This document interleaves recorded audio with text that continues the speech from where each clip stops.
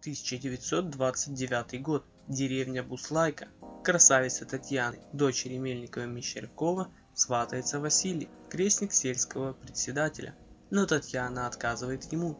Девушка ждет настоящую любовь. Вскоре она влюбляется в кулацкого сына из соседнего села Николая. Но отец Тани велит ей выходить замуж за Василия.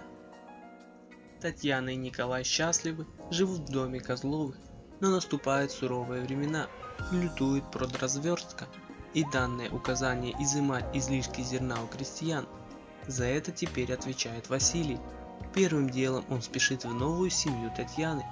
В подполе он обнаруживает мешки с зерном и забирает все. Николай ввязывается с ним в драку.